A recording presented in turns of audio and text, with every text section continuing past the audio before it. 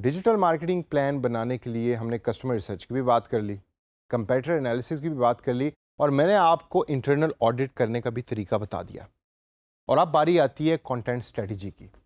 Content strategy के section के अंदर बेसिकली आप अपने क्लाइंट को वो तमाम स्ट्रेटजी और टैक्टिक्स बता रहे होते हैं जो आप यूज़ करेंगे या क्लाइंट यूज़ करेगा आपका डिजिटल मार्केटिंग प्लान इंप्लीमेंट करके।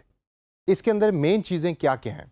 सबसे पहले तो आप 30 दिनों का पोस्टिंग प्लान अपने क्लाइंट के साथ शेयर कर रहे होते हैं। यानी 30 डेज़ पोस्टिंग प्लान मैंने इस कोर्स के अंदर डिफरेंट जगहों के ऊपर एम्फोसिस डाला है कि आपने हमेशा अपने क्लाइंट के सामने 30 दिनों का प्लान रखना है और उसको बताना है कि भाई अगले 30 दिन में ये पोस्टिंग करने जा रहा हूँ और उसको अप्रूव करवाएँ।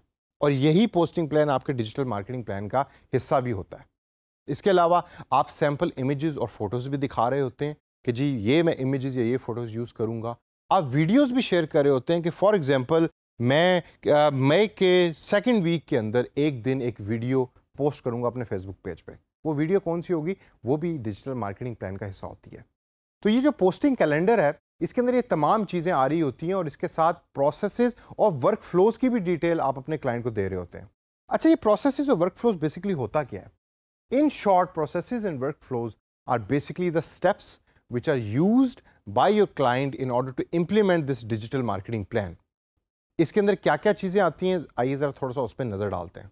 प्रोसेस एंड वर्क फ्लोज के सेक्शन के अंदर आप इंफॉर्मेशन दे रहे होते हैं कि कौन कौन से लोग हैं और उनके क्या क्या रोल हैं और उनके टास्क क्या क्या हैं जो अगले तीस दिनों के अंदर या अगले एक महीने, एक क्वार्टर या एक साल के अंदर वो कर रहे होंगे। फॉर एग्ज़ाम्पल पहला जो मेन रोल होता है वो कॉन्टेंट स्ट्रेटजिस्ट का होता है। कॉन्टेंट स्ट्रेटजिस्ट ज़रूरी नहीं कि वो कॉन्टेंट को डिवेलप भी कर रहा हो।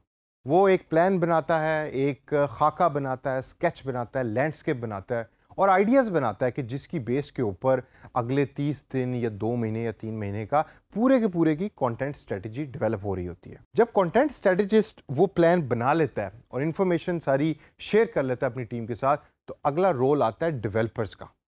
डेवलपर्स क्या करते हैं? डेवलपर्स ग्राफिक डिज़ाइनिंग कर रहे होते हैं वीडियो डेवलपमेंट कर रहे होते हैं हर वो काम जो कंटेंट स्ट्रेटजिस्ट ने सजेस्ट किया है, जो आइडियाज़ दिए हैं, उस आइडियाज़ को एक्चुअल रियल फॉर्म के अंदर कंप्यूटर के अंदर जनरेट करते हैं और डेवलप करके आगे प्रोवाइड करते हैं अपनी अगली टीम मेंबर को। जो अगला टीम मेंबर होता है, वो होता है क्वालिटी कंट्रोल का। यानी कि वो शख्स देख रहा होता है कि क्या जो ऑब्जेक्टिव्स थे, जो गाइडलाइंस क्लाइंट ने दी थी, उसके मुताबिक ये तमाम कंटेंट बना है और अगर वो उसके मुताबिक है तो क्वालिटी कंट्रोल वाला उसको टिक मार्क करके पोस्टिंग वाले को दे देता है कि भाई, ये अब कंटेंट रेडी टू पोस्ट है और आप अपने पोस्टिंग कैलेंडर के मुताबिक इस कंटेंट को ऑनलाइन पोस्ट करें।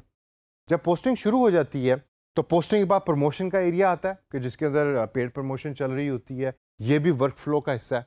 ये भी आपने अपने डिजिटल मार्केटिंग प्लान के अंदर लिखना है। और एंड के अंदर आते हैं मेंटेनेंस वाले। कि आपने पोस्टिंग कर दी प्रमोशन चल रही है कंटेंट भी बन चुका है। लेकिन रिपोर्टिंग के बाद, यानी ऑब्जर्वेशन के बाद ये पता लगेगा उसमें कुछ ऐसी चीज़ें कि जिसको हमने चेंज करना है, उसको मैं मेंटेनेंस का नाम देता हूँ। और वो मेंटेनेंस वाला बंदा फिर उसको बेस्ड ऑन द रिक्वायरमेंट या बेस्ड ऑन द फीडबैक उन चीज़ों को चेंज कर रहा होता है। अब ये पूरा एक वर्क फ्लो है जो कंटेंट स्ट्रेटजिस्ट से शुरू हुआ और मेंटेनेंस वाले पे आकर रुका और ये लूप के अंदर बार बार बार बार बार बार चलता रहता है। तो अगर दोबारा हम इसको रिपीट करें तो कंटेंट स्ट्रेटजिस्ट ने आइडिया बनाया, उसके बाद जो डेवलपर है, उसने उस आइडिया को अमली जामा पहनाया, यानी विजुअली कोई चीज़ डेवलप की क्वालिटी कंट्रोल वाले ने उसको देखा, उसको अप्रूव किया पोस्टिंग वाले ने पोस्ट करके उसको प्रमोट किया और एंड के अंदर मेंटेनेंस वाले ने इवेंचुअली देखा कि ये कंटेंट जो है, क्या हमारी स्ट्रेटजी और ऑब्जेक्टिव के मुताबिक है। तो दोस्तों, इन तमाम चीज़ों के बाद आपका जो डिजिटल मार्केटिंग प्लान है, वो इम्प्लीमेंटेशन स्टेज के ऊपर आ चुका होता है।